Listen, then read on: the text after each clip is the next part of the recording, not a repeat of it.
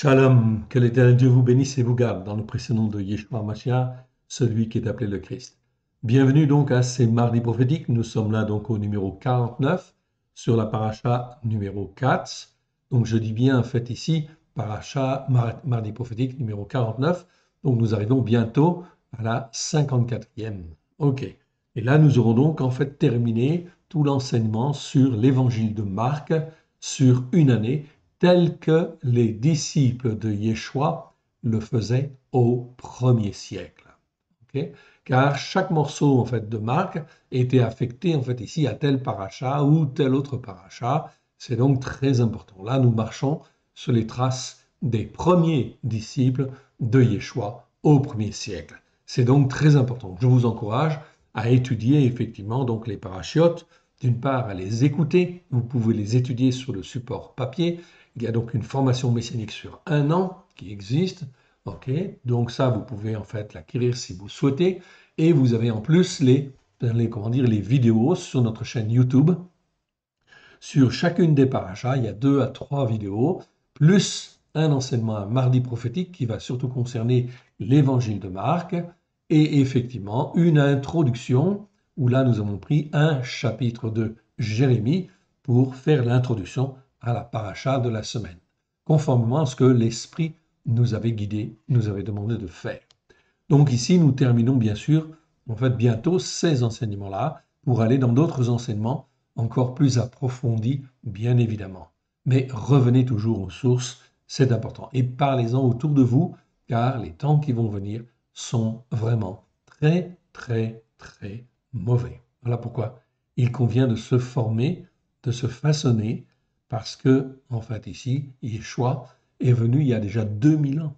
Et au travers, en fait, de la venue de Yeshua, Dieu a tout accompli au travers de Yeshua, celui qui est appelé le Christ, afin que tout homme, toute femme puisse recevoir la Torah, pleine de grâce et de vérité dans son cœur, puisse l'écouter et la mettre en pratique avec grâce et vérité. Cela fait 2000 ans déjà que cela en fait est accompli à la croix. Alors, après 2000 ans bien sûr, qu'est-ce qu'ont fait en fait les hommes et les femmes? Ont-ils écouté? Non, en général, la plupart du temps, ils ont créé des traditions, ils ont interprété l'écriture et fait des doctrines qui ont en fait ici ont été en fait ici pour détourner les uns et les autres de la vérité, de la Torah pleine de grâce et de vérité. Alors revenons, repentons-nous, revenons à la Torah, aux prophètes et aux psaumes, à la lumière de Yeshua, ici avec grâce et vérité. Remettons ces quelques instants à l'Éternel notre Dieu, notre Père, si vous le voulez bien. Père très saint, nous te rendons grâce dans le précieux nom choix. Pardon pour nos péchés, nos transgressions, nos iniquités, nos manquements, nos faiblesses, nos doutes et nos erreurs. Et dans ta main bienfaisante, nous nous couvrons du sang précieux de l'agneau, qui lave, qui purifie, sanctifie. Oui, Seigneur, et nous invoquons les mérites de l'agneau sur chacun de nous. Enfin, Père très saint, que tu nous touches les uns et les autres par ton esprit, oui, que par ton esprit tu puisses nous sanctifier, nous purifier à la gloire de ton Saint-Nom. Nous montrer en fait ta parole en fait dans toute sa vérité, pour toute sa largeur, sa longueur, sa hauteur, sa profondeur, à la gloire de ton Saint-Nom. Nous voici, Seigneur, corps et âme devant toi. Agis, Père très saint. Ton serviteur, ta servante, écoute. Amen. Allons voir déjà en fin de compte dans le calendrier pour bien situer en fait les événements. Donc là, nous sommes aujourd'hui en fait ici au huitième mois, enfin dans le mardi prophétique que nous allons faire, mardi prophétique numéro 49. Cela concerne en fait ici le quatrième Shabbat, donc de ce huitième mois. Huitième mois à droite, en bas à droite, nous sommes là au quatrième Shabbat de ce huitième mois. Donc là, nous faisons effectivement l'enseignement sur la Brit Radasha, la partie de Marc, chapitre 10, versets 41 à 53, pour être précis. On a pris un petit peu les devants, oui, bien sûr, parce que nous avons beaucoup d'enseignements en fait à faire aussi prochainement. Donc là, on est un petit peu en avance sur le calendrier, mais peu importe. C'est donc très important de bien comprendre ça. Comme ça, vous pouvez en fait ici écouter quand vous le voulez et comme vous le voulez. Voyons donc en fait ici l'enseignement qui nous concerne. Donc ici, c'est donc Marc Ici, donc on est, je rappelle ici, donc nous sommes là en fait dans les textes de la Torah accomplie. Je vous rappelle que nous avons traduit en fait ici le Nouveau Testament, dans une version en fait ici sur la pensée hébraïque de la foi. donc ici, c'est le Nouveau Testament que l'on a appelé la Torah accomplie, car Yeshua est venu en fait de la part de Dieu afin que la Torah puisse être écrite dans nos cœurs, dans nos vies, à la gloire de l'Éternel. Donc, Yeshua est venu pour que cette Torah puisse être écrite dans nos cœurs et dans nos vies. donc, c'est donc très important et fondamental de bien comprendre cette dimension-là. Cette nouvelle traduction qui existe en fait ici depuis le mois de mai de l'année dernière, eh bien, le pardon, mois de mai en fait ici de cette année, pardon, eh bien effectivement, c'est très récent. Donc là, nous sommes là dans une traduction très intéressante. je vous la conseille. Vous la trouverez sur notre site okay. Vous pouvez l'acquérir, elle vaut 35 euros en fait ici, plus les frais d'envoi, 12 euros, 47 euros pour la France. Donc c'est très important car effectivement là, on apprend à être dans la pensée hébraïque, comme Dieu en fait le veut, comme les premiers disciples en fait l'étaient, bien évidemment, au temps de Yeshua et juste après Yeshua, il n'y avait pas d'influence de doctrine erronée comme les doctrines catholiques, protestantes ou évangéliques ou autres, bien évidemment. On était sur les racines hébraïques de la foi.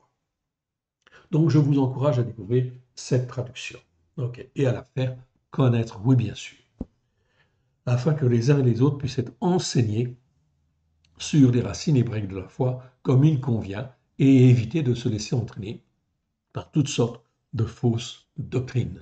Car l'Éternel Dieu est en train de juger et va juger toutes ces choses.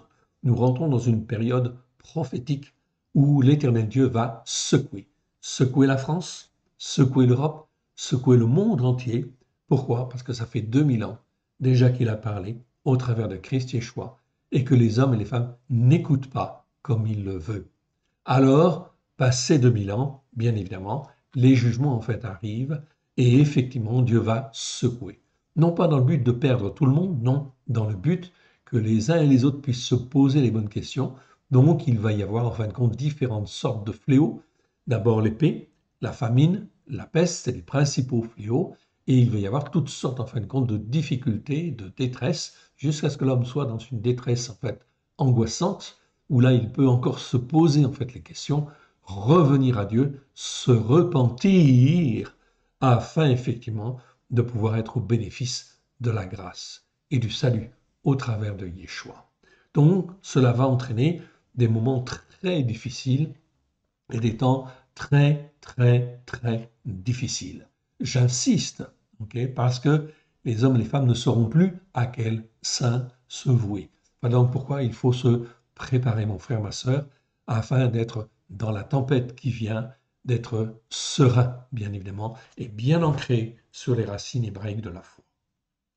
Nous arrivons là donc en fait, à la quatrième paracha, nous sommes donc au mardi prophétique 49, qui est sur la paracha en fait numéro 4, c'est-à-dire Vaïra, il se fit voir.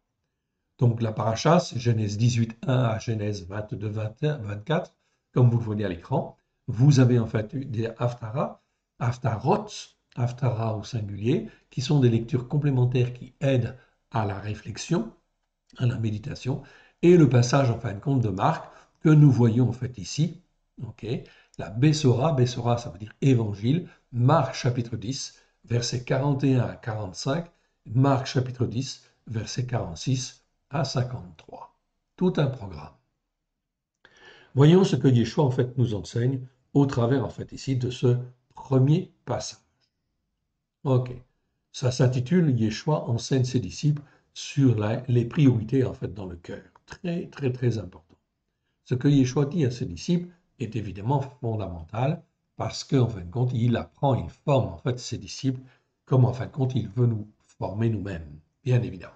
Ok. Je rappelle que tout le texte que vous voyez, en fait, ici apparaître à l'écran, se trouve, en fin de compte, ici, dans le Nouveau Testament que nous avons traduit, en fait ici, qui s'appelle la Torah accomplie. Donc ces mêmes textes, vous les trouverez là. La seule chose que vous n'avez pas, forcément, c'est tous les commentaires, oui bien sûr. Car ces commentaires, en fait, ils s'étoffent dans le temps, en fait aussi. Plus nous travaillons, plus en fin de compte on a effectivement de commentaires. Et voilà pourquoi on fait les vidéos. Mais le texte lui-même, vous l'avez là, avec les corrections déjà qui sont dedans. Les dix, ayant entendu cela, commencèrent à s'indigner contre Yaakov et Yoranan. Pourquoi? Qu'est-ce qu'ils avaient fait?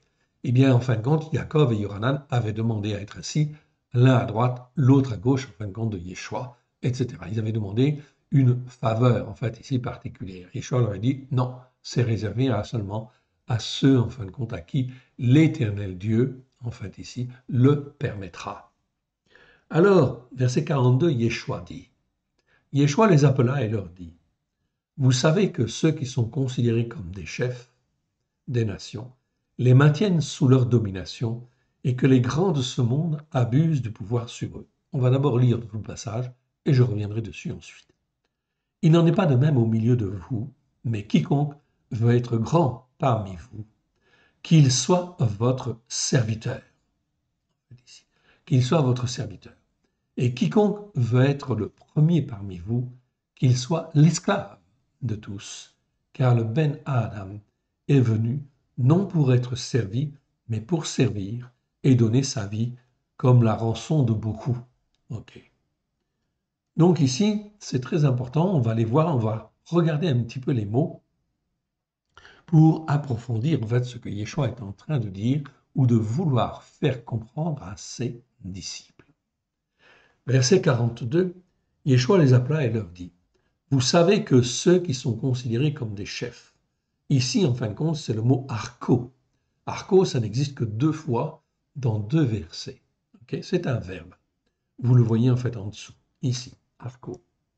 Donc il est conjugué à une certaine forme en fait en grec, au présent actif et infinitif, peu importe, ça veut dire ceux qui sont en action, en fin de compte ici. Arco, c'est un verbe qui veut dire être un chef, diriger, régner. Ce mot-là n'existe que deux fois dans les Écritures. Là, dans le verset que nous étudions, Marc chapitre 2, verset 42, et dans Romains chapitre 15, verset 12, où en fait Paulos dit, Ésaïe dit aussi, il sortira d'Isaïe un rejeton qui se lèvera pour régner en fait sur les nations. Les nations espéreront en fait en lui. De qui parle-t-on là? Bien sûr de Yeshua, qui viendra régner. Oui, il viendra régner, il viendra diriger, il sera le chef, bien sûr, en fait ici, des nations. Et les nations espéreront en fait en lui. C'est merveilleux. On voit ici en fait une dimension prophétique et messianique qui viendra se réaliser sur la terre, qui viendra pas peut-être se réaliser, qui viendra se réaliser sur la terre.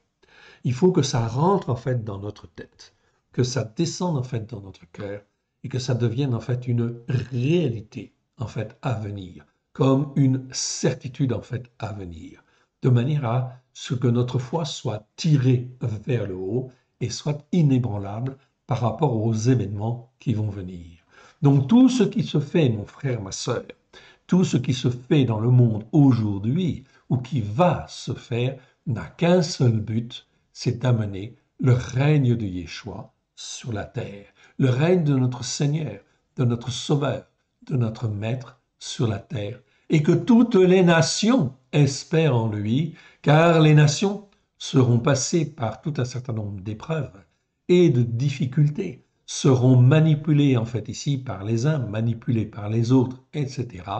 Et ils ne voudront plus effectivement être d'autres, avoir d'autres rois que celui que l'Éternel en fait a promis dans les Écritures. Voyez donc, il y a donc là une espérance extraordinaire qui doit toucher en fait tous les peuples de la terre. Donc l'Éternel Dieu est autre en travail actuellement, bien évidemment comme il l'a toujours été, il est en travail afin d'amener cette réalité sur la terre. Nous sommes donc dans ces temps prophétiques. Nous allons vivre donc des temps prophétiques absolument merveilleux. Donc on voit ici le mot régner. Alors, verset 42, Yeshua les appela et leur dit, vous savez que ceux qui sont considérés comme des chefs, c'est-à-dire ceux qui dirigent, ceux en fin de compte qui règnent aujourd'hui, en fait ici, sur en fin de compte toutes les nations, en fait, ici Eh bien, en fin de compte, ok, sur les nations, ici, on voit bien, les maintiennent sous leur domination. C'est-à-dire que les autorités qui existent n'ont en fait ici qu'un seul pouvoir, c'est en fin de compte celui de maintenir sous leur domination, ou on peut dire en fait tyranniser en fait ici, c'est-à-dire traiter en fait les gens, en fait les dominer d'une manière ou d'une autre. On va voir le verbe. Le verbe en fait ici, c'est en fait ici kata ku ku rieo, ri, ri e en fait ici. Pas facile à prononcer. Je ne suis pas un spécialiste du grec, mais en fait on le voit ici. Kata ru qui kata ru kata ku rieo, ru e o. Ok. Bref. Ici ce verbe, c'est un verbe qui existe quatre fois dans quatre versets. Ok. Référence 26-34. Ça veut dire amener sous son pouvoir. Qu'est-ce que ça veut dire ce verbe grec? Ce verbe grec, ça veut dire amener sous son pouvoir. Ça veut dire s'assujettir. Ça veut dire subjuguer. Ça veut dire maîtriser. Ça veut dire mettre sous le joug. Réduire en son pouvoir. Tenir en soumission. Être le maître. Exercer une seigneurie. Donc on voit bien que ce verbe-là montre bien en fait l'idée de, en fait ici, de dominer en fait ici sur un peuple. Donc toutes les autorités qui existent, en réalité, quand elles ne sont pas en fait en Christ, en réalité, sont là pour dominer, mettre un joug d'une manière ou d'une autre sur le peuple afin de le contrôler, de dominer en fait sur lui, d'une manière ou d'une autre. Voici les quatre versets dans la Louis II où se trouve en fait ce mot-là. Matthieu chapitre 20 verset 25. Jésus les appela et dit, vous savez que les chefs des nations les tyrannisent. Donc le traducteur ici avait traduit même le mot par tyranniser. Mettre un genou sur quelqu'un, le tyranniser, le dominer, etc. Pourquoi pas tyranniser Bon, c'est peut-être un petit peu fort, mais en réalité, tout au moins les contrôler. Et les grands les asservissent, en fait, ici. Ça, c'est l'équivalent du verset que nous voyons là, ok, dans Marc, et là, nous l'avons en fait dans Matthieu. Marc chapitre 10, verset 42, c'est le verset que nous voyons à l'heure actuelle. Yeshua les appela et leur dit, vous savez que ceux qu'on regarde comme des chefs des nations les tyrannisent, c'est-à-dire les oppriment, dominent en fait sur eux, etc., les contrôlent d'une manière ou d'une autre. Ou font tout justement pour contrôler en fait le peuple. Et que les grands les dominent, et que les grands les dominent. Acte 19, verset 16. Et l'homme dans lequel était l'esprit malin s'élança sur eux, se rendit maître de tous deux, etc. Donc se rendre maître, ok, dominer, exercer un joug, etc. Donc se rendit maître de tous deux, et les maltraita, de telle sorte qu'ils s'enfuirent de cette maison, nus et blessés. 1 Pierre 5, verset 3, non comme dominance sur eux, sur ceux qui sont échus, qui vous sont échus en partage, mais en étant les modèles du troupeau. Donc là, on voit dans 1 Pierre 5, verset 3, que Pierre utilise en fait le même mot, mais il dit en fait ici très clairement qu'il ne s'agit pas en fait ici quand on est chef ou quand on reçoit une autorité en Christ, au travers de Christ, ce n'est pas en fin de compte de dominer sur eux comme en fait ici les autorités en fait dominées sur le peuple, mais au contraire, ceux qui vous sont échus en partage mais en étant les modèles du troupeau, c'est-à-dire en étant un exemple, un modèle en fait à suivre, oui bien sûr. Donc ça suppose une transformation intérieure fondamentale, bien évidemment. Donc on voit ici en fait ce que c'est que ce mot katakurio, en fait ici. Donc ça veut dire exercer une domination contrôlée en fait ici. Et les grands, en fait, de ce monde abusent du pouvoir sur eux. Donc, autre verbe, en fait, ici, et que les grands de ce monde, c'est-à-dire, en fait, ici, ceux qui, en fait, sont puissants, quelque part, et les grands de ce monde, soit parce qu'ils ont une autorité, soit parce qu'ils ont de l'argent, abusent du pouvoir sur eux. Donc, petit d. Petit d, on va aller voir le verbe. Donc là, le verbe, c'est kateksu xiaxo, en fait, ici. Ok, donc ici, ce verbe-là, c'est un verbe qui n'est pas très courant. C'est un verbe qui existe deux fois dans deux versets. Ça veut dire exercer l'autorité, manier ou manipuler le pouvoir, abuser de l'autorité, à servir.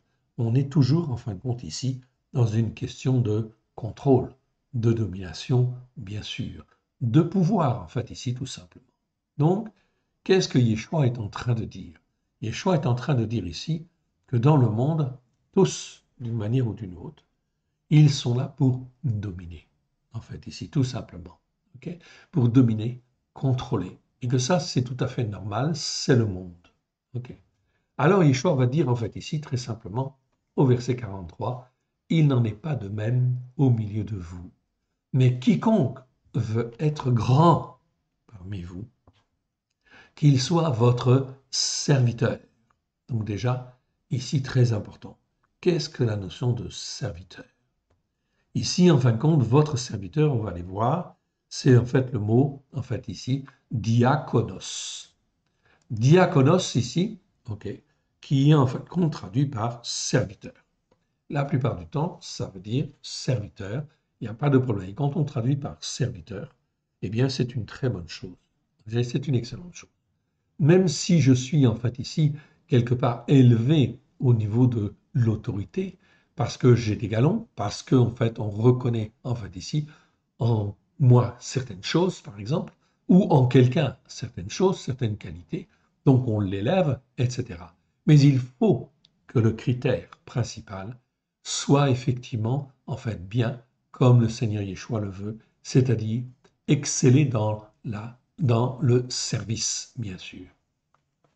Serviteur, en fait ici, diakonos, ça veut dire serviteur, celui qui est aux ordres de quelqu'un d'autre, soit un esclave, soit un subordonné, ah, ça peut être un diacre, ça peut être un magistrat, ça peut être un ministre, oui, bien sûr. Toutes ces appellations-là, en fin de compte, sont possibles, si je puis dire, mais ce n'est pas le vrai sens du mot diakonos. Diakonos, c'est le sens du service, être au service de. Autrement dit, celui qui est mis à la disposition des autres pour le service. Et si je veux devenir serviteur de Christ ou serviteur de Dieu, eh bien la première chose, bien évidemment, le critère fondamental, c'est que je sois mis à la disposition des autres pour le service. Là, on est bien dans une définition qui est saine. Et plus effectivement on avance dans le temps, plus on a de l'expérience, oui bien sûr, on doit toujours rester en fait serviteur et exceller dans cette notion de service, oui bien sûr, si on veut être serviteur de Christ. Serviteur de Christ ou serviteur de Dieu, c'est bien en fait une notion ici de service, comme Dieu le veut, comme Christ le veut. Matthieu chapitre 20, verset 26. Donc ce mot-là existe 30 fois dans 28 versets. C'est en fait le numéro 12, 40. Matthieu, chapitre 20, verset 26. Il n'en sera pas de même au milieu de vous, mais quiconque veut être grand parmi vous, qu'il soit votre serviteur. Très bien, ça c'est bien traduit. Ok, on va l'accepter comme ça. Matthieu 22, 13. Alors le roi dit au serviteur, liez-lui les pieds et les mains, et jetez-le dans les ténèbres du dehors, où il y aura des pleurs et des grincements de dents. Ok. Et le roi dit au serviteur. Ok, donc très bien. Donc là, on voit bien cette notion de serviteur. Ils sont assujettis effectivement au roi. Et ici, le roi, en particulier dont on parle quelque part, c'est Yeshua. Nous l'importance, en fait, ici, de bien comprendre cette notion de service. Je suis au service, en fin de compte, par la volonté de Dieu ou par la volonté de Christ. Je suis bien au service, au service des autres. Alors le roi dit au serviteur, lui, liez-lui les pieds et les mains et jetez-les dans les ténèbres du dehors. Alors il y aura des pleurs et des grincements dedans, parce qu'ils se disent serviteurs, mais ils n'ont pas été serviteurs de Christ ou serviteurs de Dieu comme il convient. Donc là, bien sûr, c'est pas nous qui jugeons, c'est le Père qui juge et c'est Yeshua qui juge. Oui, bien sûr. OK. Matthieu chapitre 23, verset 11. Mais il y aura des pleurs et il y aura des grincements dedans. Oui, bien sûr. Donc ce n'est pas parce que quelqu'un se dit aujourd'hui serviteur de Christ, ok, dans telle domination ou telle autre domination, qu'il est vraiment en fin de compte un serviteur comme Dieu le veut ou comme Christ le veut. On est bien d'accord. Matthieu chapitre 23, verset 11. Le plus grand parmi vous sera votre serviteur. Ok. Marc chapitre 9, verset 35.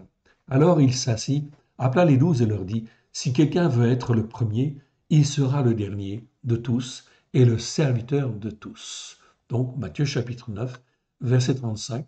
Yeshua, en fin de compte, ici nous dit très bien. Donc la notion de serviteur est une notion, en fin de compte, qui est axée sur le fait que je suis tourné vers le service des autres, vers l'amour des autres. Marc chapitre 10, 43. c'est celui que nous étudions aujourd'hui. Il n'en est pas de même au milieu de vous, mais quiconque veut être grand parmi vous, qu'il soit votre serviteur. Donc là, on ne parle pas de chef, on ne parle pas de grade, on ne parle pas en fin de compte de poste. Non, absolument pas. Le poste, il peut être là, ok, bien sûr, mais en réalité, il faut être serviteur. Serviteur dans l'âme, en fait, si je puis dire.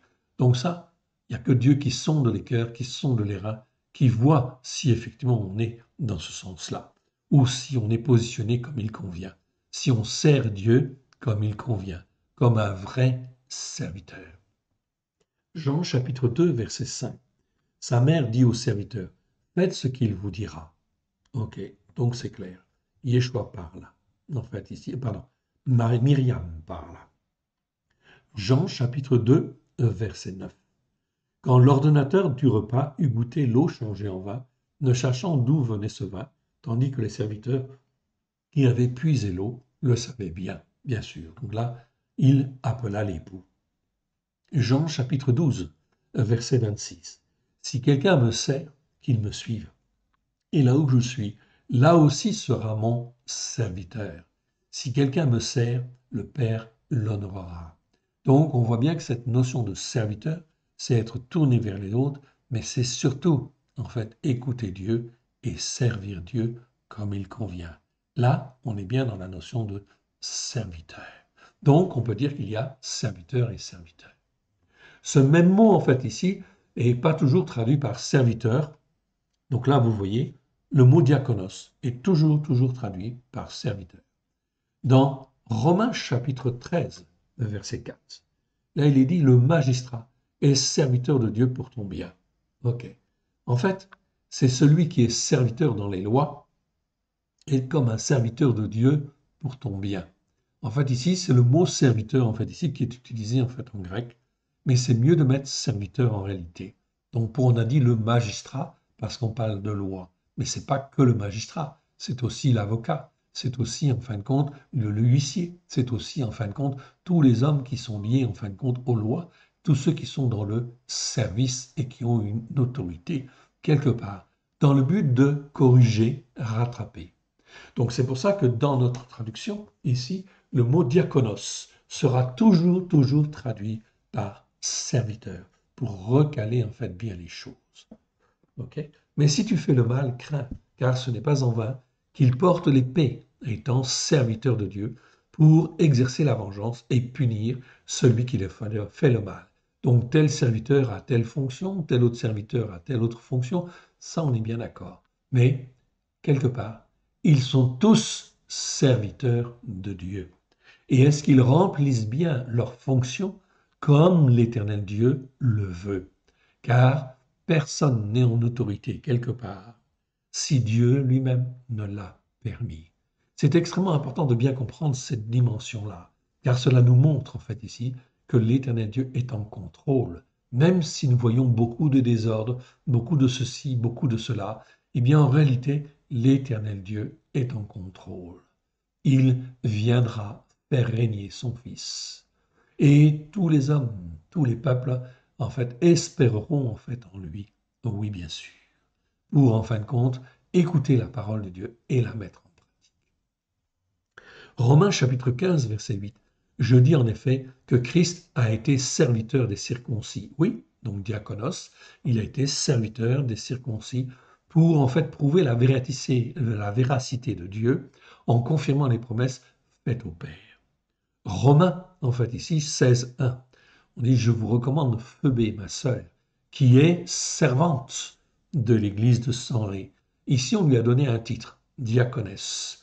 Mais en réalité, en fait ici, ça ce sont les traducteurs qui l'ont donné. Elle est servante. Et c'était une servante certainement très fidèle en fait à l'éternel Dieu, oui bien sûr. Donc on aurait mieux fait de garder le nom, le mot de servante, oui bien sûr, car diaconos, ici, ça veut dire servante d'abord. C'est d'abord une servante de Dieu, une servante de Christ. 1 Corinthiens chapitre 5, chapitre 3, verset 5. ok? Qu'est-ce donc qu'Apollos?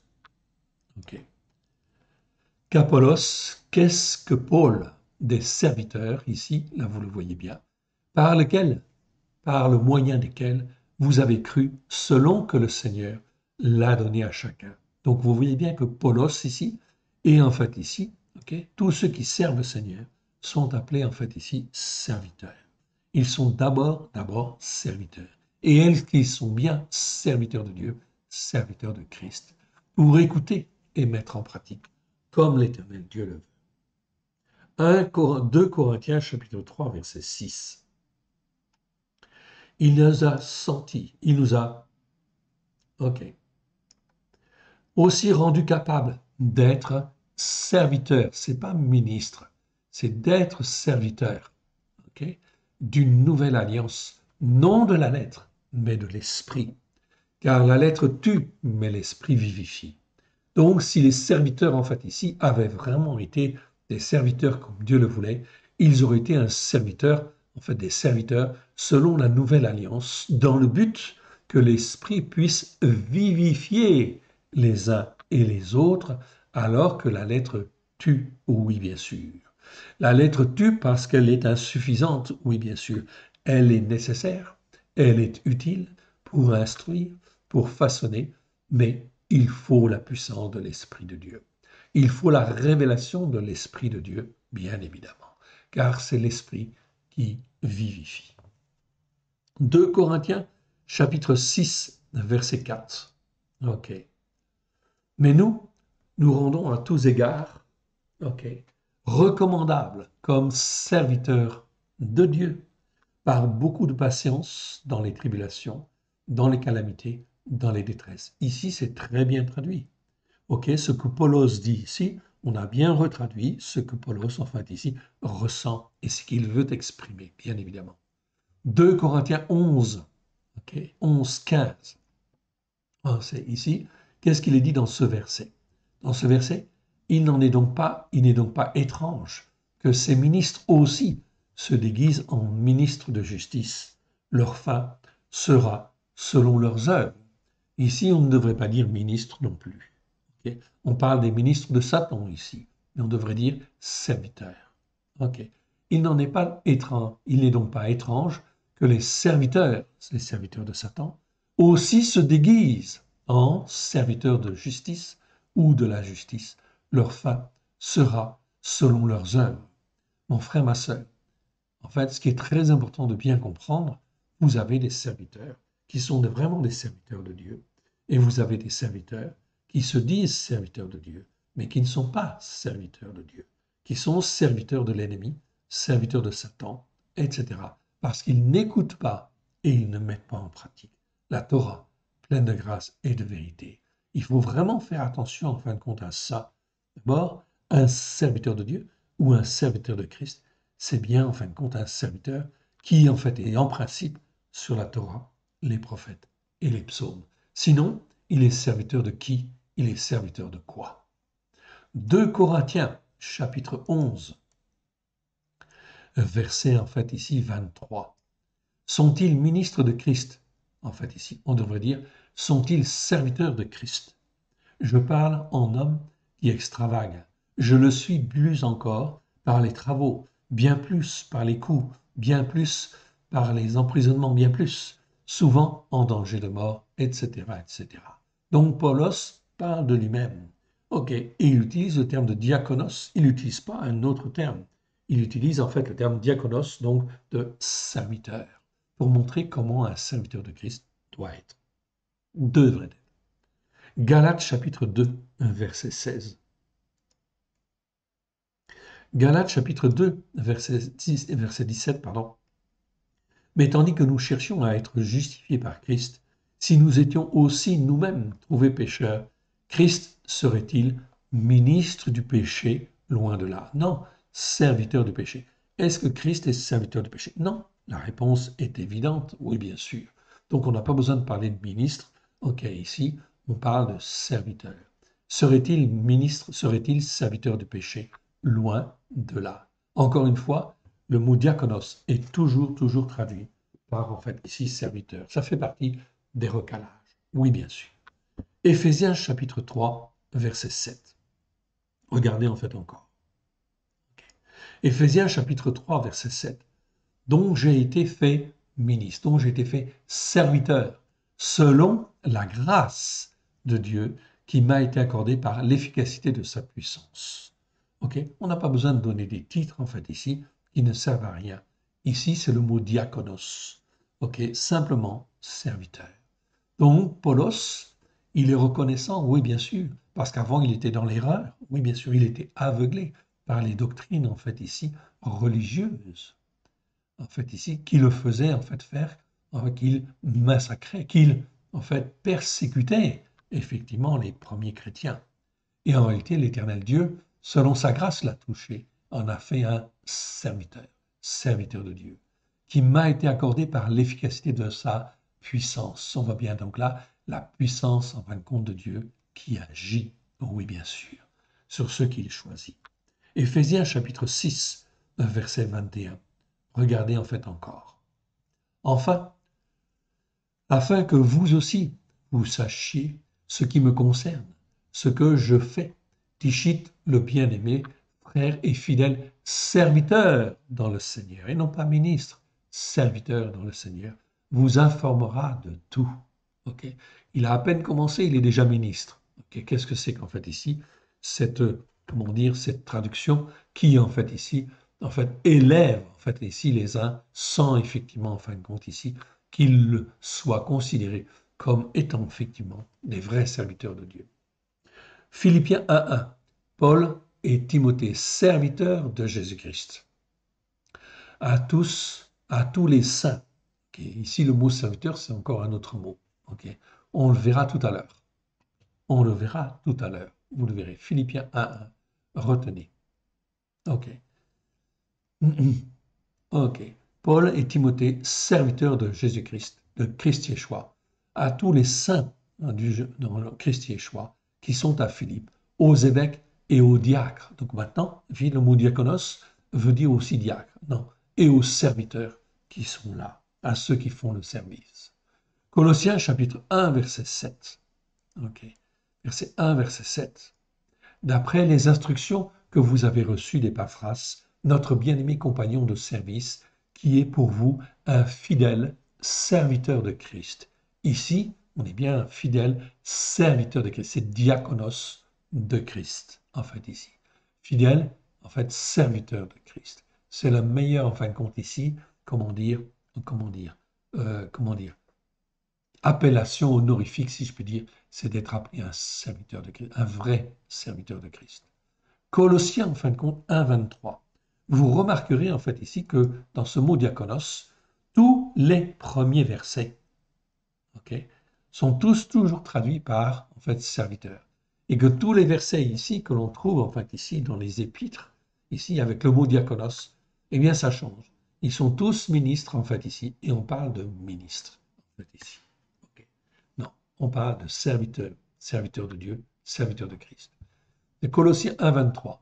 Si du moins vous demeurez fondés et inébranlables dans la foi, sans vous détourner de l'espérance de l'Évangile que vous avez entendu et qui a été prêché à toute créature sous le ciel, et dont moi, Paul, j'ai été fait serviteur. Oui, il ne s'appelle pas ministre, il n'a jamais dit ministre, non, il dit diaconos. Donc ça veut dire serviteur. J'ai été fait serviteur.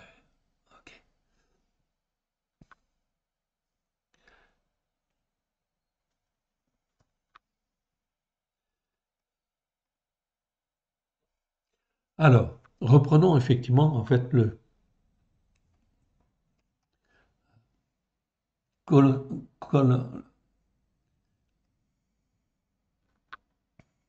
alors,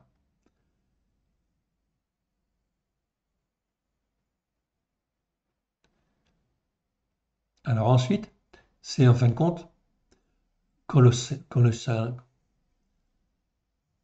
Colossiens chapitre 1, verset 25. C'est d'elle que j'ai été fait ministre, selon la charge de, Dieu m'a donné après vous, afin que j'annonçasse pleinement la parole de Dieu. Donc Colossiens chapitre 1, verset 25, ici en fin de compte, c'est traduit par ministre. Non, c'est en fait ici serviteur, en fin de compte ici, c'est serviteur tout simplement. J'ai été fait serviteur. C'est d'elle que j'ai été fait serviteur, tout simplement. Colossiens chapitre 4, verset 7. Tichit, le vrai aimé fidèle, et le fidèle ministre. En fait, ici, c'est pas ministre, c'est toujours, en fin de compte, ici, toujours pareil, en fait, ici. Le même, en fait, ici, serviteur, en fait, ici. OK. Le même serviteur, en fait, ici. OK.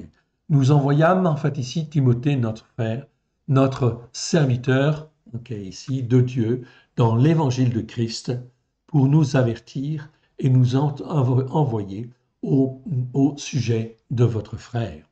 1 Timothée chapitre 3, verset 8. Cette fois-ci, c'est traduit par diacre, en fait, ici. Eh bien non, c'est toujours, en fin de compte, ici, serviteur. Les serviteurs aussi doivent être honnêtes, éloignés de la duplicité, des excès de vin, d'un gain sordide. 1 Timothée chapitre 3, verset 18. Pareil ici, les serviteurs doivent être mariés d'une seule femme et diriger bien leurs enfants et leur propre maison, bien évidemment. Donc là, on ne parle pas de diacre particulièrement, on est toujours en fin de compte dans les serviteurs, les serviteurs de Dieu, en fait ici. Ils doivent être mariés d'une seule femme, diriger bien leurs enfants et leur propre maison. 1 Timothée chapitre 4, verset 6. En exposant ces choses aux frères, tu feras un bon ministre de Jésus-Christ. Non, un bon serviteur de Christ Yeshua, nourri dans les paroles de la foi et de la bonne doctrine que tu as exactement suivi. Donc on voit ici que ce mot en fin de compte ici nous parle bien effectivement donc de serviteur bien évidemment. Ici vous voyez dans les premiers versets, ce mot en fait diaconos est toujours toujours traduit par serviteur. On est dans le service, service en fin de compte de Dieu. Donc on voit bien ici Ok. Verset 43. Il n'en est pas de même au milieu de vous, mais quiconque veut être grand parmi vous, qu'il soit votre serviteur. Donc là, on voit cette notion de diaconos qui vise à être assujetti en fait à l'éternel. Ça, c'est ce que dit en fait le verset. Mais si on fait attention, Yeshua ne s'arrête pas là. Ça, c'est une bonne chose. Déjà, en fait, reconnaître que l'éternel Dieu est Dieu et que moi je suis un serviteur et j'apprends à être soumis à l'éternel Dieu. Mais verset 44, regardez ce que Yeshua dit. Ce que Yeshua dit est très important en fait ici. Et quiconque veut être le premier parmi vous, qu'il soit l'esclave de tous. Alors là, on parle en fait ici de l'esclave de tous. C'est un autre mot en fait ici. Donc, tout le monde peut être serviteur et est appelé à être serviteur de Dieu, on est d'accord. Mais dans cette notion d'être serviteur de Dieu, est-ce que les hommes et les femmes veulent vraiment être, en fait ici, un esclave? C'est-à-dire dépendre entièrement de l'éternel Dieu par la puissance de l'Esprit de Dieu. C'est donc ça quelque chose de très important. Yeshua est en train de souligner en fait ici. Regardez, je relis les deux versets. Verset 43. Il n'en est pas de même au milieu de vous mais quiconque veut être grand parmi vous, qu'il soit votre serviteur. Déjà, première chose. Donc on parle bien là de notion de serviteur, être un serviteur. Mais Yeshua rajoute, verset 44, et quiconque veut être le premier parmi vous, parmi tous les serviteurs, ok, eh bien qu'il soit l'esclave de tous. Donc celui qui veut grandir parmi tous les serviteurs, eh bien il n'y a pas 36 choses, il doit devenir un esclave de tous. Et là, c'est un autre mot, en fait, ici, en grec. Et on va aller le voir, ce mot, ce mot-là. Ce deuxième mot qui est très important, en fait, ici. On va aller le voir. C'est le mot, en fin de compte, doulos, que vous voyez là. OK. Le mot doulos, donc tout à l'heure, c'était diakonos. Ici, on a le mot doulos. Doulos, c'est un adjectif qui, lui, existe 125 fois dans 118 versets. Numéro Strong 1401. D'abord, en fait, ça veut dire, doulos, ça veut dire esclave. Esclave par opposition à l'homme libre. Ça veut dire serviteur asservi, en fait, ici, quelque part. Donc, c'est plus qu'un simple serviteur.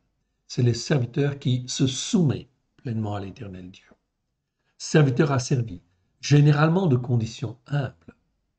Alexandre 1850, qui est un grand dictionnaire ancien, un dictionnaire de référence, dit bien en fin de compte ici esclave, au propre ou au figuré, en fait ici, très clairement. Chassand 1882, qui est un autre dictionnaire grec, français-grec, qui est en fait un dictionnaire de référence, aussi comme Alexandre 1850, dit bien un esclave ou quelqu'un qui est asservi.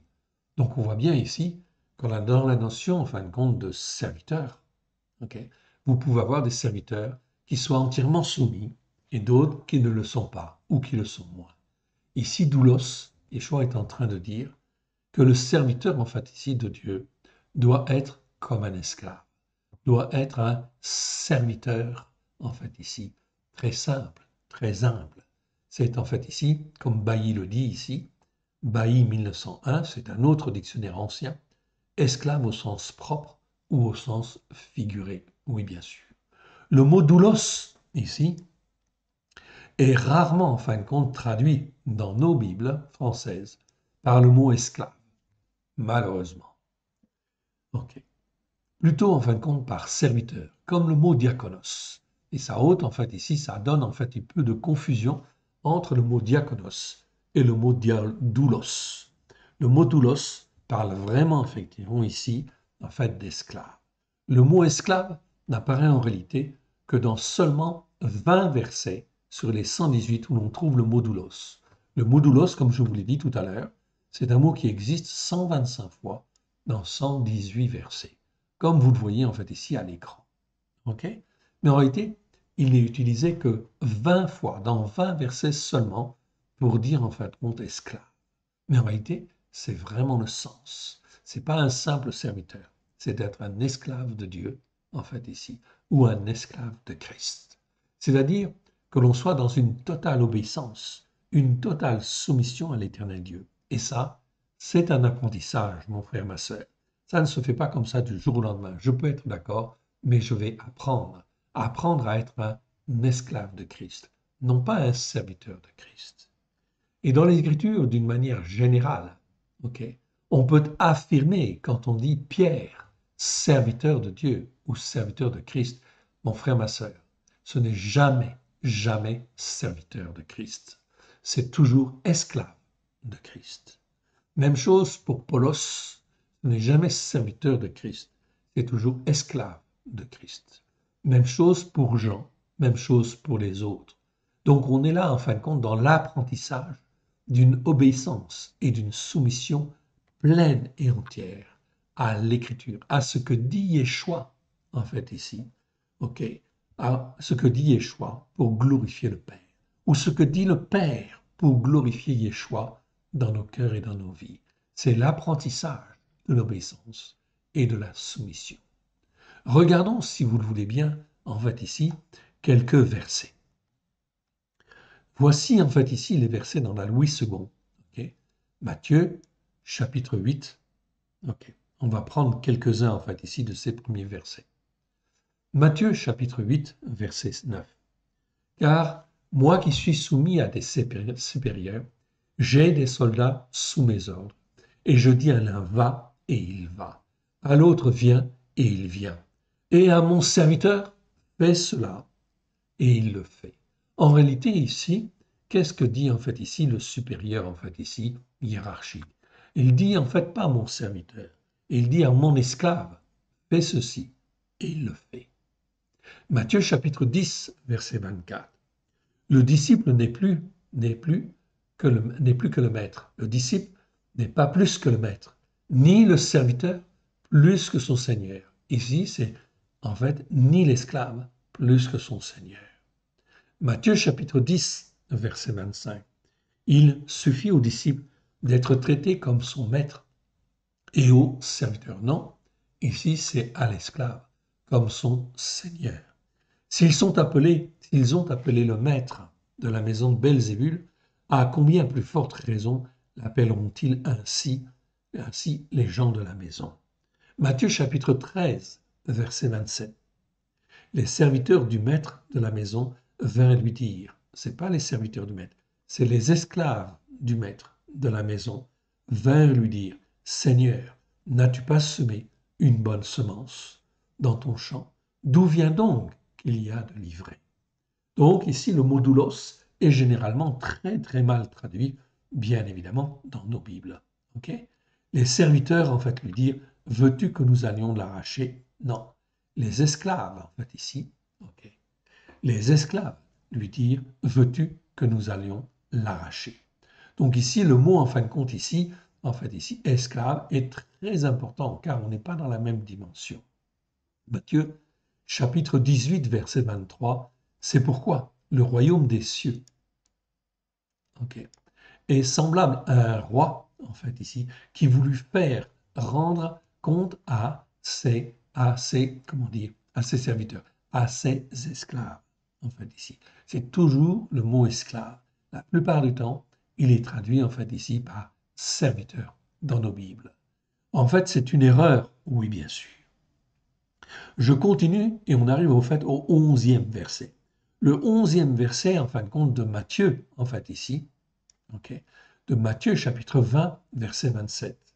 Quiconque veut être le premier parmi vous, qu'il soit votre esclave. Donc là, on parle bien de esclave. C'est bien le, le mot doulos. Oui, bien sûr. Donc là, c'est bien traduit. Donc ici, je suis au onzième verset où je rencontre le mot doulos. Et là, en fait, il est bien traduit. Si je prends le douzième verset, Matthieu chapitre 21, verset 34, lorsque le temps de la récolte fut arrivé, il envoya ses serviteurs vers les vignerons pour recevoir le produit de sa vigne. Donc il envoya ses esclaves vers les vignerons pour recevoir le produit de la vigne. Donc là, en fait, ici, c'est en fait ici déformé quelque part dans l'écriture. C'est comme si c'était diakonos. Non, c'est doulos ici, donc on parle d'esclave. C'est très important, car en fait, il ne s'agit pas seulement de donner son cœur et sa vie Yeshua. Quand je donne mon cœur et ma vie Yeshua, je deviens un serviteur. On est d'accord. Mais si ce serviteur ne va pas plus loin, ne se donne pas pleinement en fait à Dieu, pour être émondé, pour être comme un esclave, quelque part, eh bien, en fin de compte, le travail d'approfondissement ne se fait pas. Et il reste comme il est, quelque part. Donc, le serviteur, ici, reste un serviteur, mais n'est plus en fait un esclave. Or, tous les versets où l'on parle de Paulos, où on parle de Jean, où on parle de Pierre, etc., qui sont en fin de compte soi-disant serviteurs de Dieu. Non, ils ne sont pas serviteurs de Dieu. Ils sont esclaves en fait de Dieu ou esclave de Christ. Toujours, et c'est toujours le mot doulos. Je vous montre en fait ici encore d'autres versets. D'autres versets, on va les voir. On va aller un peu plus loin.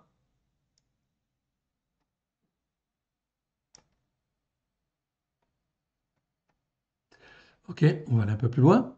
Ok. Voilà. Et on va aller en fait au verset 31. 31e verset.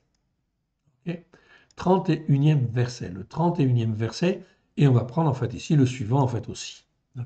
Le 31e verset. C'est Marc chapitre 10, verset 44. Donc là, on a le mot doulos. Et quiconque veut être le premier parmi vous, qu'il soit l'esclave de tous. Donc là, on parle bien d'être esclave. Esclave de tous, en fait, ici. C'est le mot doulos. Par contre, dans Matthieu chapitre 12, verset 2, le verset suivant, où on trouvera en fait ce mot-là, au temps de la récolte, il envoya un serviteur vers les vignerons pour recevoir d'eux une part du produit de la vigne. Ici, on devrait avoir, il envoya un esclave vers les vignerons pour recevoir d'eux une part du produit de la vigne. Même chose, en fait, ici, dans Marc chapitre 12, verset en fait compte ici. ok 4. Il envoya de nouveau vers eux un autre serviteur. Ils le frappèrent à la tête. Non, c'est un autre, comment dire, comment dire, esclave. Ils le frappèrent à la tête et l'outragèrent. Marc chapitre 13, verset 34. Il en sera comme d'un homme qui, partant pour un voyage, laisse sa maison, remet l'autorité à ses serviteurs, c'est pas ses serviteurs, c'est ses esclaves, indique à chacun sa tâche et ordonne au portier de veiller. Ici, le mot doulos est toujours traduit par serviteur dans les Bibles second, etc. et là, en fait, on est gravement dans l'erreur, gravement dans l'erreur. On arrive au 63e verset.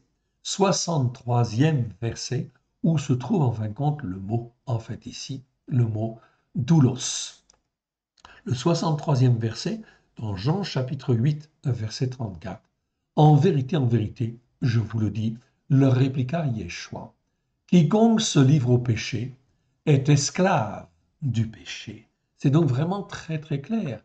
Le mot doulos, en fait, ici, nous parle d'esclavage, en fin de compte, du péché. Est esclave du péché. Quiconque se livre au péché est esclave du péché.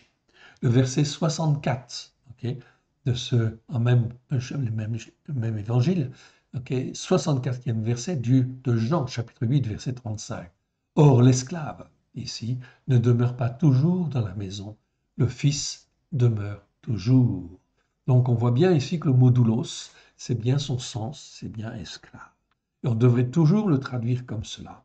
Dans Jean 13, verset 16, En vérité, en vérité, je vous le dis, le serviteur n'est pas plus grand que son maître. Ici, c'est l'esclave n'est pas plus grand que son maître, ni l'apôtre plus grand que celui qui l'a envoyé. Jean 15, 15, pareil. Dans Jean 15, 15, en fait, ici, ok, on continue. On est en fin de compte dans la même problématique, en fait, ici. Jean 15, 15. Je ne vous appelle plus serviteur, c'est-à-dire je ne vous appelle plus esclave, parce que l'esclave ne sait pas ce que fait son maître. Mais je vous ai appelé ami, parce que je vous ai fait connaître tout ce que j'ai appris de mon Père. Yeshua continue en fait en disant dans le verset 20, Souvenez-vous de la parole que je vous ai dite. L'esclave n'est pas plus grand que son maître. S'ils m'ont persécuté, ils vous persécuteront aussi. S'ils ont gardé ma parole, ils garderont aussi la vôtre. C'est donc très important de bien comprendre en fait cela. Voilà pourquoi dans notre traduction en fait ici, ok, du Nouveau Testament que l'on a appelé la Torah en fait accomplie, eh bien en fin de compte ici tous ces mots sont recalés en fait comme il convient. Doulos est toujours traduit par en fait ici esclave, toujours. Et ça en fait donne une dimension bien supérieure en fait au verset bien évidemment, on est beaucoup plus dans l'obéissance et la soumission à Dieu. et on distingue bien la notion de serviteur de la notion d'esclave. Car la notion d'esclave, en fait, l'esclave, il ne décide rien. C'est il fait ce que le Père demande et ce que le Fils demande, bien sûr. Et ils sont un avec le Père et le Fils. C'est donc très important de bien comprendre cette dimension, en fait, là. Cette dimension-là. On continue, en fait, ici. Et on arrive en fait au 75e verset. Le 75e verset, 76e verset, etc. On va les voir en fait ici. Ok. Là, tout cela en fin de compte sont très bien traduits en fait ici. Vous allez donc en fait le voir, sauf le dernier, je vous les montre. En fait ici. Le 75e verset. Romains chapitre 6, verset 16. Donc quand on veut expliquer les choses, en fait ici, c'est vraiment très très clair et on comprend bien qu'il faut être esclave. Apprendre à être esclave de Christ, apprendre à être esclave de Dieu, afin de ne dépendre que de Dieu, que du Père et que du Fils. Oh oui, bien sûr. Romains chapitre 6, verset 16. Ne savez-vous pas qu'en vous livrant à quelqu'un comme esclave, pour lui obéir, vous êtes esclave de celui à qui vous obéissez, soit du péché qui conduit à la mort, soit de l'obéissance qui conduit à la justice. Voilà pourquoi il faut choisir. Hein. Soit je suis esclave du monde, soit je suis esclave de Christ. Et si je veux choisir d'être esclave de Christ, ok, eh bien effectivement, là, par la puissance de l'Esprit de Dieu, je vais être lavé, purifié, sanctifié, protégé, gardé. Oui, bien sûr. Le 76e verset, Romains chapitre 6, verset 17. Mais grâce soit rendue à Dieu de ce qui, de ce que, après avoir été esclave du péché, vous avez obéi de cœur à la, règle, de doctrine dans laquelle vous avez été instruit. Très bien. 77e verset, Romains chapitre 6, verset 20. Car lorsque vous étiez esclaves du péché, nous étions esclaves du péché. Et le Seigneur ne veut plus que l'on soit esclave du péché, mais que l'on soit esclave de sa vérité à lui. Vous étiez libre à l'égard de la justice. Le 78e verset où on va trouver ce mot-là, 1 Corinthiens, chapitre 7, verset 21. As-tu été appelé étant esclave? Ne t'en inquiète pas. Mais si tu peux, si tu peux devenir libre, profites-en plutôt. Le 79e verset, 1 Corinthiens, chapitre 7, verset 22. Car l'esclave qui a été appelé dans le Seigneur est un affranchi du Seigneur. De même, l'homme libre qui a été appelé est un esclave de Christ. Non pas un serviteur de Christ, mais un, esclave de Christ. Un esclave de Christ. Un esclave de Christ. C'est donc là très, très, très important. Le 80e verset, ici, regardez bien. 1 Corinthiens chapitre 7 verset 20. Vous avez été rachetés à un grand prix. Ne devenez pas esclaves des hommes. Là, c'est clair. Voilà pourquoi il faut apprendre à ne dépendre que de Dieu et que de son Saint-Esprit, enfin ici, au travers de Christ Yeshua, qui nous a rachetés. Vous a racheté à un grand prix, ne devenez pas esclaves des hommes. Donc là, il y a une question en de choix. Est-ce que je veux être esclave de Dieu ou esclave de Christ? Ou est-ce que je veux être esclave du monde, esclave des hommes? Il n'y a pas 36 solutions. Mon frère, ma soeur, ça se résume en fait à ça. Je dois choisir d'être esclave de Dieu au travers de Christ ou en fait d'être l'esclave du monde. Ok. Le 81e verset ici, vous le voyez, c'est 1 Corinthiens chapitre 12, verset 13. Nous avons tous en effet été baptisés dans un seul esprit pour former un seul corps, soit juif, soit grec, soit esclave, soit libre, et nous avons tous été abreuvés d'un seul esprit. Là, on est dans l'unité spirituelle. Quand je me rends esclave de Christ, je me rends esclave de Dieu, et par sa parole, eh bien, en fin de compte, je deviens en fait un avec le Père, un avec le Fils. 2 Corinthiens chapitre 4, verset 5. Et là, effectivement, ce n'est plus traduit dans la version seconde, en fait par esclave. C'est traduit par serviteur. 2 Corinthiens 4, 5, nous ne prêchons pas nous-mêmes. C'est Jésus-Christ, c'est Christ Yeshua le Seigneur que nous prêchons. Et nous nous disons vos serviteurs à cause de Christ, à cause de Yeshua. Non, nous nous disons en fait nos, vos esclaves à cause de Christ, à cause de Jésus. Maintenant, est-ce la faveur des hommes que je désire ou celle de Dieu? Galate 1, 10 Est-ce que je cherche à plaire aux hommes? Si je plaisais encore aux hommes, je ne serais pas, en fait, ici, non pas serviteur de Christ, mais esclave de Christ. Esclave de Christ. Paulos n'a jamais voulu dire serviteur, il a dit esclave. Ok. 84e verset. Okay. Galates 3, 28. Là, c'est bien traduit. Il n'y a plus ni juif ni grec. Il n'y a plus ni esclave ni libre. Il n'y a plus ni homme ni femme. Car tous vous êtes en Jésus-Christ, en Christ Yeshua. Le 85e verset, c'est bon aussi, il est bien traduit, lui. Galates chapitre 4, verset 1. Or, aussi longtemps que l'héritier est enfant, je dis qu'il ne diffère en rien d'un esclave, qu'il soit le maître de tout, en fait, qu'il soit le maître de tout. Le, ensuite, le 86e verset, c'est Galates chapitre 4, verset 6. Ainsi, tu n'es plus esclave, mais fils. Et si tu es fils, tu es aussi héritier par la grâce de Dieu. Donc le Seigneur nous dit que quand on a capitulé complètement, eh bien effectivement, on devient esclave, mais on devient en fait un homme libre quelque part. Éphésiens chapitre 6, verset 5, là c'est mal traduit. Ici c'est marqué serviteur, obéissez à vos maîtres selon la chair. Non, esclave, obéissez à vos maîtres selon la chair avec crainte et tremblement, mais dans la simplicité de votre cœur, comme à Christ en fait, ici. Même chose dans Éphésiens 6, 6, en fait, ici.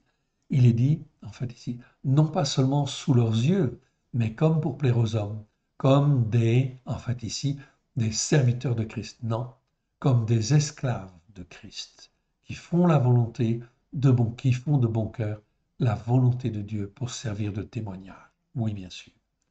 Le 89e verset, lui, est bien traduit. Ok. Le 89e verset nous dit, ici, Ephésiens chapitre 6, verset 8. Cependant que chacun soit esclave, soit libre, recevra du Seigneur selon ce qu'il aura fait de bien. Ici, en réalité, Philippiens 1.1, vous voyez là, c'est très mal traduit en fait ici. Très, très mal traduit en réalité.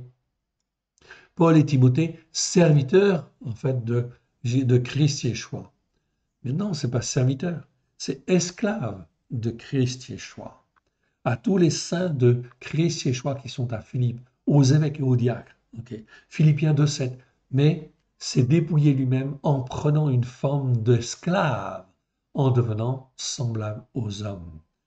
92e verset ici. Colossiens 3, 11.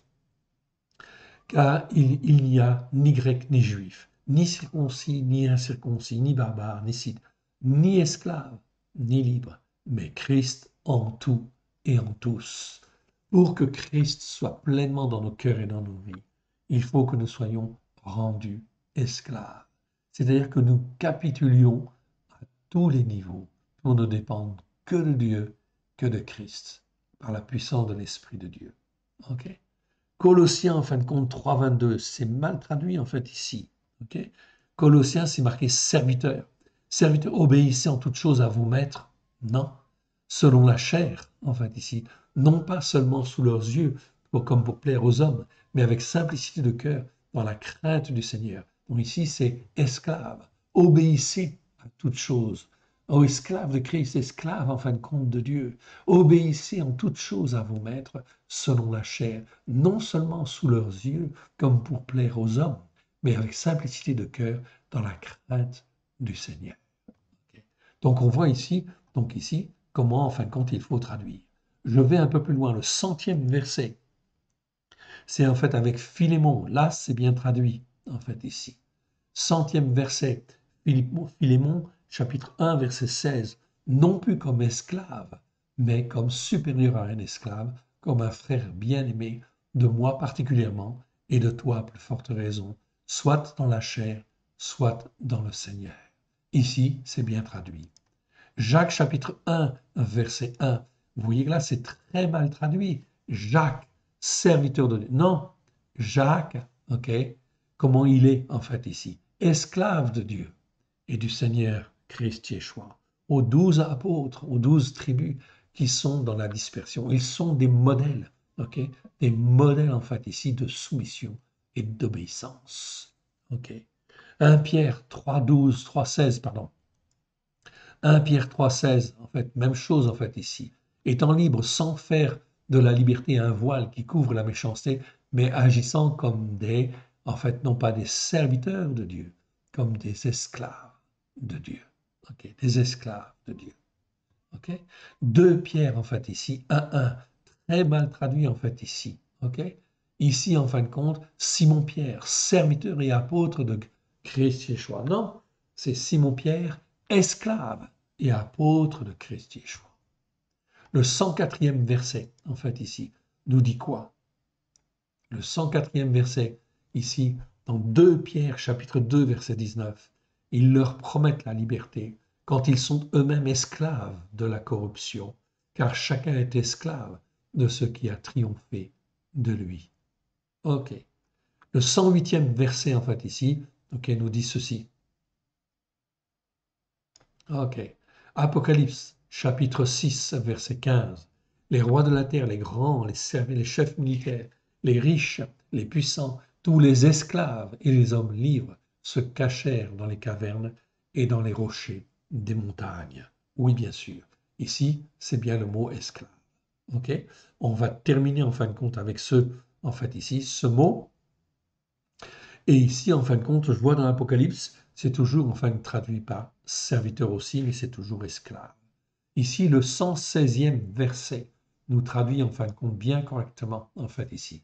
Afin, chapitre 19, ok, verset 18, afin de manger la chair des rois, la chair des chefs militaires, la chair des puissants, la chair des chevaux, de ceux qui les montent, la chair de tous, libres et esclaves, petits et grands, ici. Donc on voit ici donc tout un panel. Là, on a tous les versets. Je ne les ai pas tous vus, mais vous avez bien compris en fait ici quelque chose de très important. Le mot doulos nous parle en fin de compte d'être un serviteur. Serviteur en fin de compte, pas seulement d'être serviteur, mais d'être un esclave en fait ici. Je reprends en fait le verset, verset 43. Il n'en est pas de même au milieu de vous, mais quiconque veut être grand parmi vous, qu'il soit votre serviteur.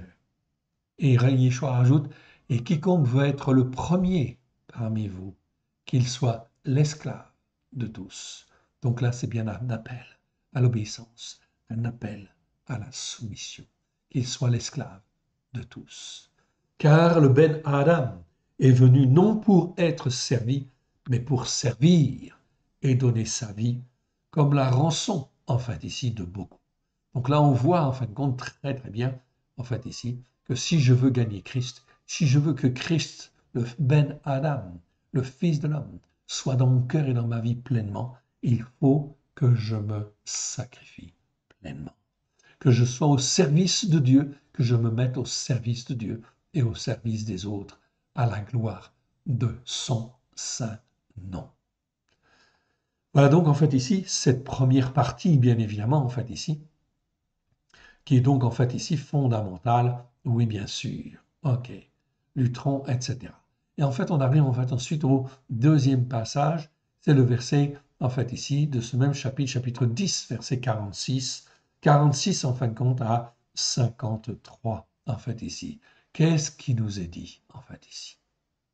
C'est l'aveugle de Yériro qui croit en Yeshua, le nazoréen, pas le nazarien, le nazoréen, ou pas Jésus de Nazareth. Ici, c'est nazoréen. Verset 46. Ils arrivèrent à Jéricho, Jéricho.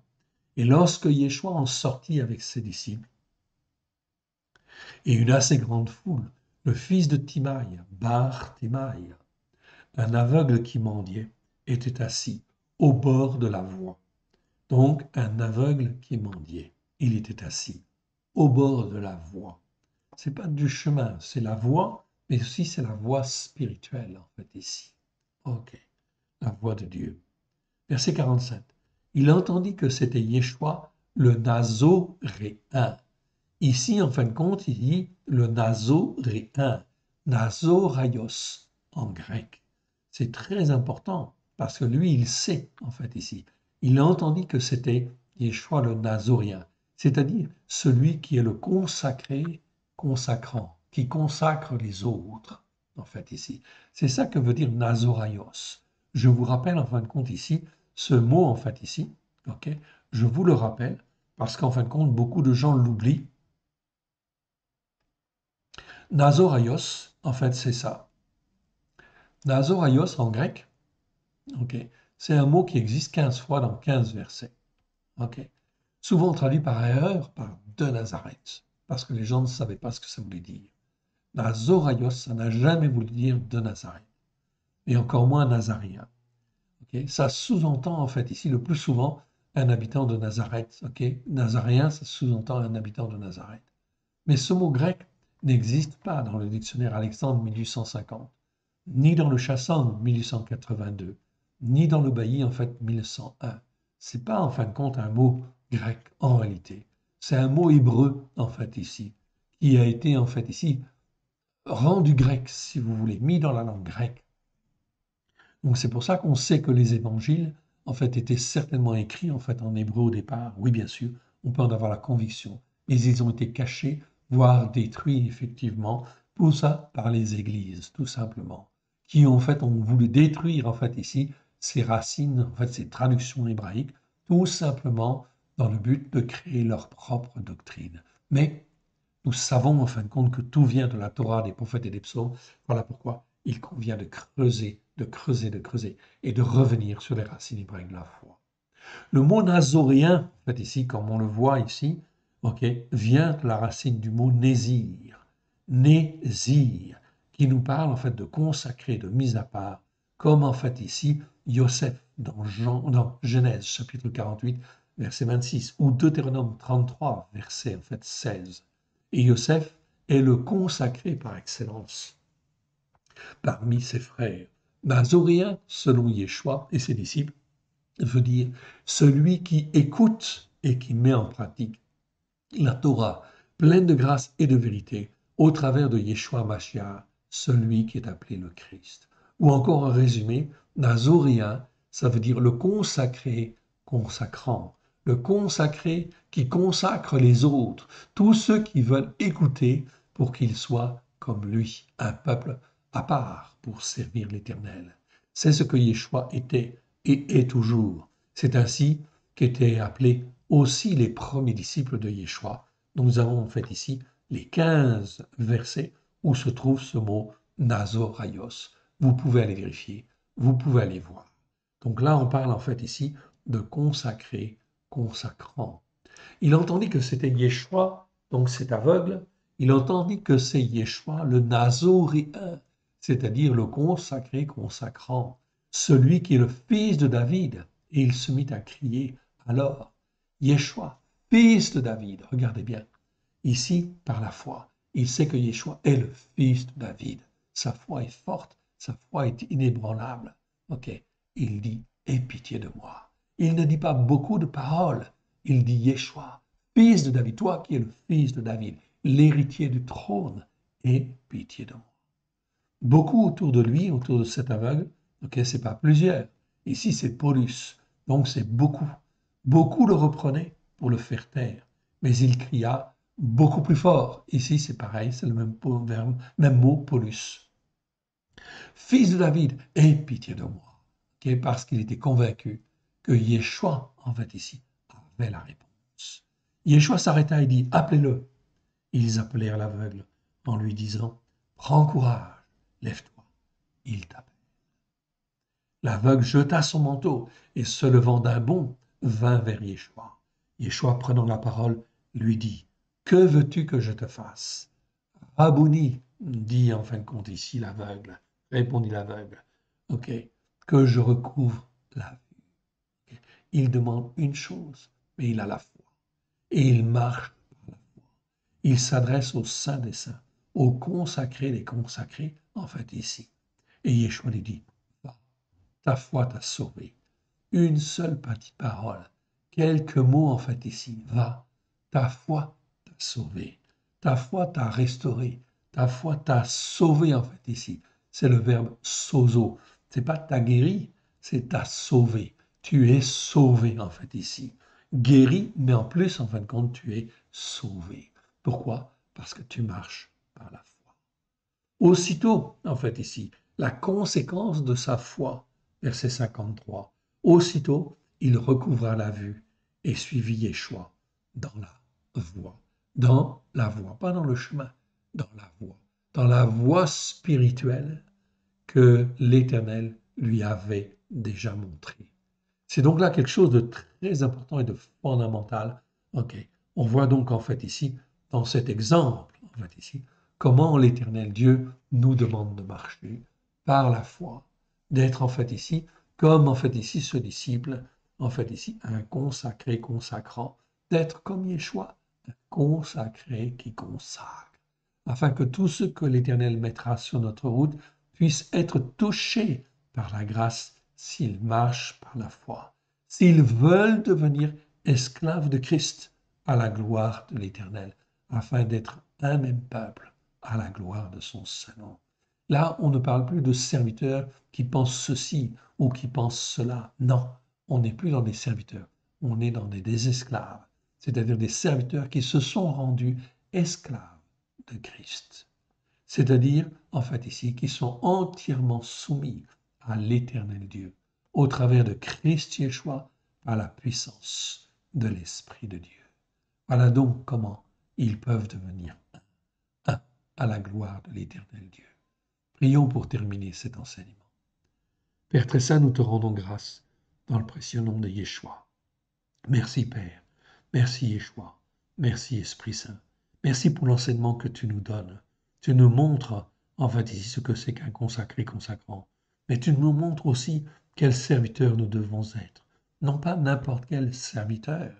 Ok, nous voulons être, oui, des serviteurs qui soient des consacrés consacrants, qui soient effectivement comme des esclaves, des esclaves de Christ à la gloire de ton Saint. Père très saint, émonde-nous, fortifie-nous, touche-nous, Seigneur, émonde-nous, Seigneur, à la gloire de ton Saint-Nom. Que tout orgueil dans le nom des choix disparaisse. Sonde nos cœurs, sonde nos reins, vois si nous sommes sur une mauvaise voie, et remets-nous sur la voie de l'éternité. Et tant à ma bienfaisante, renouvelle-nous, que ton nom soit glorifié dans nos cœurs et dans nos vies, à la gloire de ton Saint-Nom. Nous te rendons grâce, Père très saint. Nous te rendons grâce, Seigneur Yeshua. Nous te rendons grâce, Esprit Saint. Que l'Éternel Dieu vous bénisse. Que l'Éternel Dieu vous garde. Dans le précieux nom. Shabbat Shalom à tous. Amen.